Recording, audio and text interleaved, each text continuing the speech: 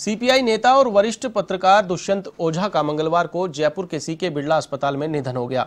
शाहपुरा के मूल निवासी ओझा नवासी वर्ष के थे और वर्ष 1946 में दरबार हाई स्कूल में तिरंगा फहराकर चर्चा में आए थे।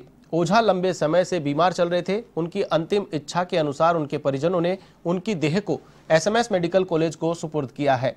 इस दौरान उनकी पत्नी शारदा देवी, भाई जयंत ओझा, अनंत ओझा और भांजे अनिल व्यास भी मौजूद रहे। ओझा 60 वर्ष तक राजनीति में सक्रिय रहे। इसके अलावा जयपुर, अजमेर और भीलवाड़ा में सक्रिय पत्रकारिता भी की। मुख्यमंत्री अशोक गहलोत ने भी ओझा के निधन पर शोक व्यक्त किया है।